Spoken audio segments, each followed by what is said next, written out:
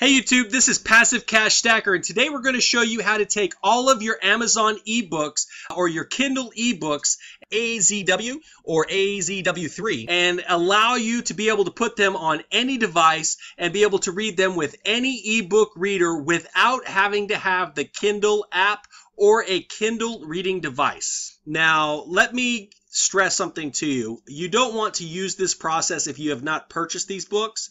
Uh, if you are getting them for free on uh, Kindle Unlimited or you're borrowing these books, you don't want to use this because the authors don't get paid and you want to make sure that the authors get paid. So they don't get paid until you've read at least 10% of the book. This technique is for anybody who has purchased their books and owns them so that you can use them on any one of your devices. There's only three steps that you need to do for this. And with these three steps, we're going to break them down really quickly. And at the end of this video, we will have a link below to our blog that will have all the links and all the detailed information that you need. So if you don't pick it up in this video, you will be able to reference it easily and quickly. All right, so all you need to do is open up your browser. Uh, the first thing you need to do is you need to go to Amazon. And on Amazon, in the search bar, you're going to type in Kindle for PC. Now, Kindle for PC is the program that you're going to need that allows you to go ahead and uh, do all of the things uh, without being an app. So now if you go down here, uh, if you're running Windows 8 or if you're running uh, Windows 10, then it will have a Kindle app that is available and that Kindle app is not going to work. So you see, I've got the Kindle app but you don't want to use that because the Kindle app will set aside files that are unacknowledgeable to any other program and you will not be able to find the files because they are not regular ebook files. So what you do is you find the Kindle for PC app and then what you do is you just download it and install it. Very simple and easy. Then what you're going to need is the Calibre ebook reader app. And so you just go here to Calibre ebook management. And with the Calibre ebook management, that is a, a ebook reader that reads any kind of ebook file that's out there. It also converts files, which is what you want. So what you do is you come over here to Calibre, you download the Calibre, and it's going to give you options. Uh, you'll have the ability to download it for Windows, for Apple, for Linux. And one other thing that we really like is that you have portable right here. You can also put it on a portable device, which is pretty awesome.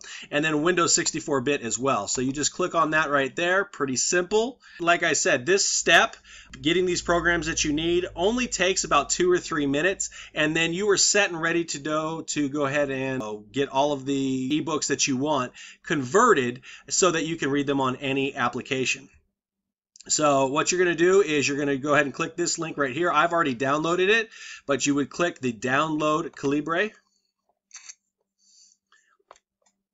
and it says that it's good for 7, 8, and 10 on Windows as well as Vista. And then you would just save the file. Like I said, I've already got it, so I'm not going to download it.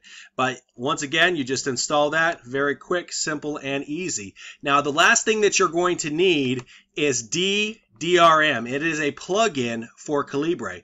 So you would type in DeDRM and it's going to be from Apprentice Alf's blog. We will go ahead and uh, provide you with links to all of this so you can quickly and easily just click one, two, three and get it done.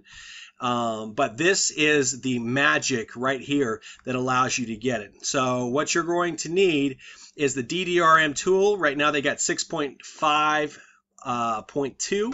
Um, you know, when you get it, it might be a little bit later, but like I said, we'll have a link to this. So you just go ahead and click on that there, and you go ahead and download it. I personally have already downloaded it, so we don't need to download it again. Uh, once you've done all of that, go ahead and open up your Kindle for PC is what it should look like. So we're going to open that up for you so you can see and confirm that you do not have the Kindle app because you don't want the Kindle app. Okay, so this is what the Kindle program is going to look like. So you see we've got all the books here. We've got all the books downloaded. So all books is going to be what's in your cloud for Amazon. And then you have all your downloaded books. This is what's going to be on the hard drive. Now you see here how it has the check marks uh, that means that they have been downloaded and they are located on your hard drive, which is a good thing. So once you know that you have books and you have them downloaded uh, to the Kindle app, what you're going to do is you're going to go to your File Explorer. And on your File Explorer, you're going to go to Documents, and then uh, the folder is going to be My Kindle Content. Now, if you have the Kindle app, and not the Kindle program for PC, you will not have this folder called My Kindle Content. But since we have the Kindle for PC application, uh, then we will have this. So you open this up, and this is going to have all of the files. Now, these files are Kindle content. Uh, so these are Amazon books. So every single one of these here is going to be an ebook. All right. So what you do is you open up your Calibre app. So uh, we got our Calibre app here. So just go ahead and open up your Calibre app. And that will take one moment to go ahead and pop up. Then you look at formats. So right here is the format that the Amazon program has, which is the AZW3. That is going to be uh, what comes directly from Amazon. And then what we converted it to is EPUB. Now you have the opportunity and the ability to convert it to PDF. Uh, you can convert it to EPUB. You can convert it to whatever you want. Um, but when you convert it, you want to make sure it's on something that's going to be readable. Now, what we love about EPUB is it keeps all of the basic characteristics of the ebook and it's playable on almost any device out there. So you can play it on iPod, you can play it on your Android, you can play it on your computer, uh, on your Amazon tablets, all of that. Once you have uh, done the previous steps, then you go here to Preferences. You click on Preferences and change Calibre behavior. Then you'll scroll down here to the bottom, which says plugins. Down here at the bottom, it says load plugin from file. You would click on that. And what you're going to do is you're going to select the DeDRM plugin. You're going to go ahead and open that. And then it's going to uh, successfully install. Once it successfully installs, then that gives you the ability to go ahead and convert your files. So once you've installed that plugin, you go ahead and close this out. And then you want to completely close the entire program. And what that's going to do is it's going to update the program so that it has the new plugin uh, set up. And then what you would do is just get back into Calibre and once you get back into Calibre, then uh, any book that you want to convert will really quickly and easily convert to any type that you want to do. So let's go up here where it says convert books. And we can either convert an individual book or we can bulk convert the books. So uh, if you bulk convert, you could do all of the books or however many books you select or whatever. So we're going to go ahead and select this one book and then we're going to convert individually.